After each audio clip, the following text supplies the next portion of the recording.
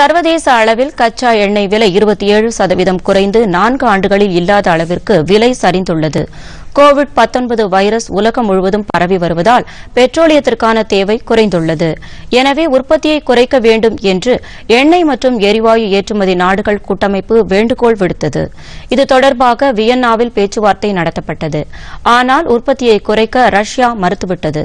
இதன் காரணமாக பெட்ரோலிய விலை கடந்த வெள்ளிக்கிழமை பத்து சதவீதம் குறைந்தது.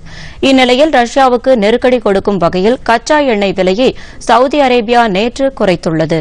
இதனால் ஒரு பேரல் கச்சா எண்ணெய் விலை இருபத்தி ஏழு சதவீதம் குறைந்து முப்பது டாலர்களாக இருந்தது.